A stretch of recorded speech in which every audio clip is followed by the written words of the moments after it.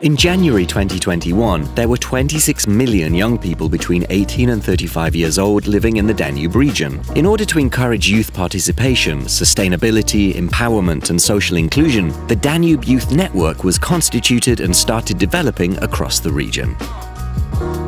We are trying as, as one to create a network between all of these bodies and to educate our young people to become more involved in the public governance making. This year, the topic or the theme of the festival is everything that is mine. My family, my school, my park, my community. We appreciate everything that is truly ours, that we can love with all of our hearts.